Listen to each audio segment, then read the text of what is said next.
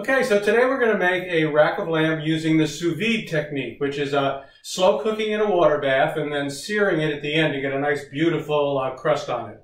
And then we're going to make a cognac sauce to go with it. So I set the sous vide, which is this little device over here, to take the temperature in this water bath up to 125 degrees, which is good if I want to get a medium rare. So all I'm going to do with the rack of lamb itself today is I'm going to liberally salt it, liberally, and I'm also going to pepper.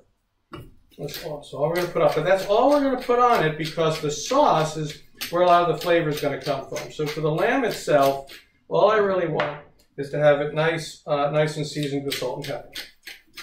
Okay. on. I already have my bag ready here, my sous vide bag.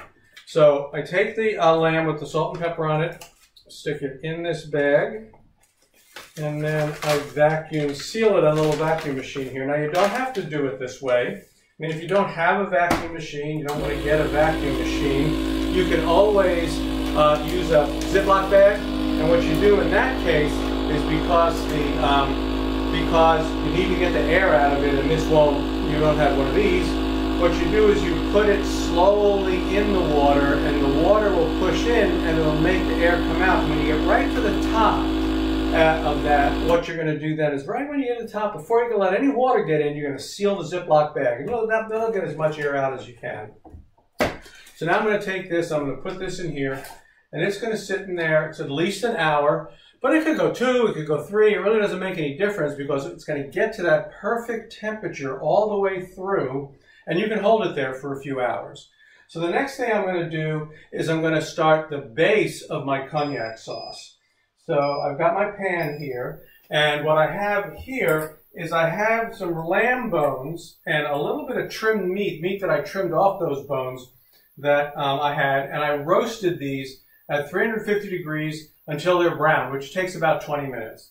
I'm going to put that in the saucepan, and then I'm going to add to that um, a half a cup of demi-glace, which you can get from the store. A lot of places have it, um, or you can order it online. Uh, there's places that you can get it online. So it's a half a cup of demi-glace, a half a cup of cognac, a half a teaspoon of black peppercorns, and then um, a sprig of rosemary that I'm going to bruise. All right, why do I bruise? I bruise it because I want to so just get start, give it a head start with the oils coming out of the leaves. I'm just going to put that in here. Now, what that's going to do is I'm going to bring this up to a low simmer. I'm going to simmer it uh, very low for about 30 minutes. All I'm trying to do is get some of the lamb flavor out of the bones, and get the flavor out of the rosemary and the peppercorns. And then when that's done, after about 30 minutes of low simmering, I'm going to strain it through a fine mesh strainer. And then we're going to finish the sauce after searing the lamb. So this is all going to go for a while, and uh, we'll be back later, and I'll show you how quickly this comes together. So I'm back, Donna's here with me, and it's time to finish up our lamb dinner. I'm going to take the uh, lamb out of the sous vide. It's been in here a couple hours. I mean, it's been holding, right? It holds right. at the same temperature. And I will open it up just like this. And then I've got this pan heating up here, getting it nice and hot. I want to dry this, but it's perfectly cooked inside, should be ready to go medium rare. I just need to sear it now because it kind of looks like an ugly gray. Right. And you don't have that nice flavor that comes with something. So I'm going to take, uh, this is some clarified butter in the very hot pan. You can see the pan is smoking. I just want to put a little bit, that's all. I don't need a lot, just a, a thin layer. There we go. And now we're going to very quickly sear this because I don't need to cook it anymore. I just want to get really hot and I want to get a nice crust on that. Here have my tongs. All right.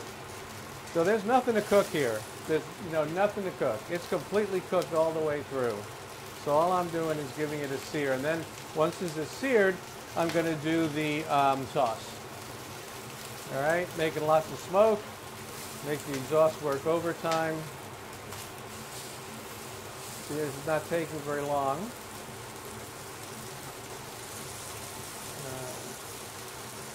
Again, I'm trying to get that nice browning on it. I've got this cranked up all the way. I got just enough clarified butter to make sure it doesn't stick too much.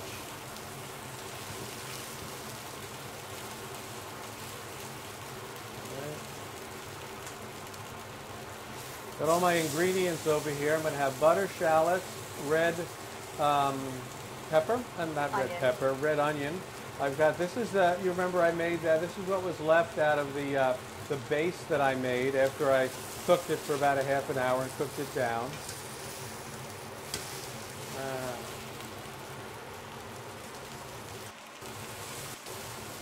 we're going to cook it down a little bit more. And then, of course, I'll correct with the salt, which comes at the end. All right, like I said, this is cooked. All I was doing was searing it. I'm going to put it down over here. Now I'm going to turn this down. A tablespoon of butter. This is um, a tablespoon, actually it's two tablespoons of shallot, diced shallot, and one tablespoon of diced red onion. Now I don't need to cook this very long. I just want to get that initial little little saute on it. Keeping stuff nice and going here. Then I'm going to add my this was the, what I made earlier from the cognac and the bones and the demi-glace. Right, we're going to let that go for a minute. We're going to let that go and thicken a little bit. While that's thickening, let me go and get the rest of dinner. So we have, this is some nice cauliflower and parsnip, Parsnip puree. Grab a plate. Put the plate here. This is getting, this is just about ready to, to give it its final taste there. All right, so let's take some of this puree and put it down on here.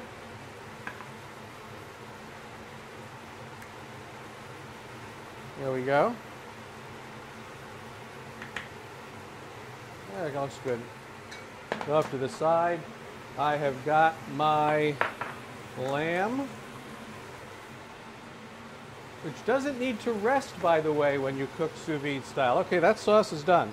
That's done. See, it's nice and thickened up. Looks beautiful. All I need to do is give it a taste, figure out how much salt to put in. A decent amount because it had none before, oh. but I just wanted to make sure.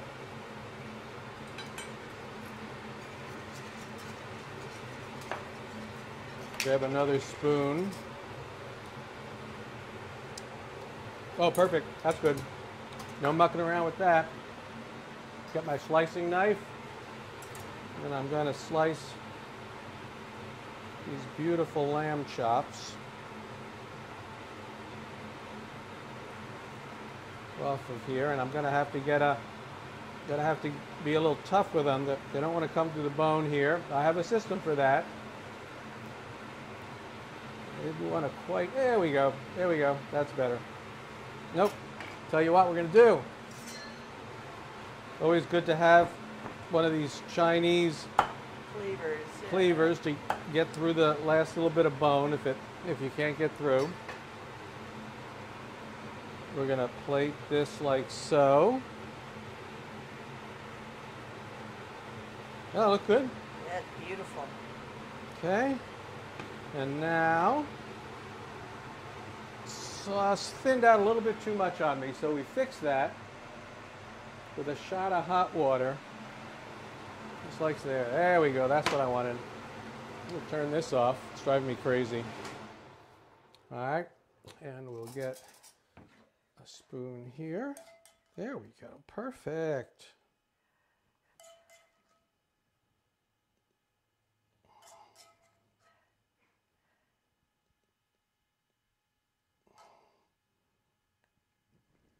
Okay. Wait, you're not done yet. Don't touch it yet. You have to hit it with a little bit of parsley. And some lemon zest.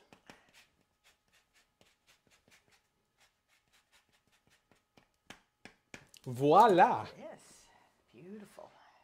Give that a taste. Will. All right.